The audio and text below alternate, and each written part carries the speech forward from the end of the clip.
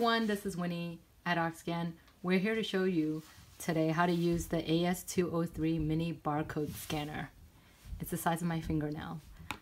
And it works with Android devices as well as uh, Windows systems. So we have a phone here and we also have our cookie product with a barcode. So right now I'm going to take the phone and I'm going to take the mini barcode scanner. The blinking red light means that it's compatible with your Android device.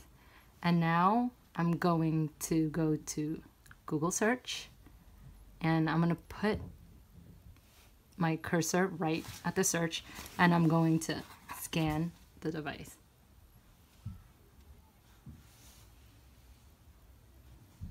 Right there shows us the Arkscan AS203 mini barcode scanner. And I'm also going to show you how to scan a product. But first I have to put it in the cursor. And there we go. There's our cookie product. Thank you for joining us.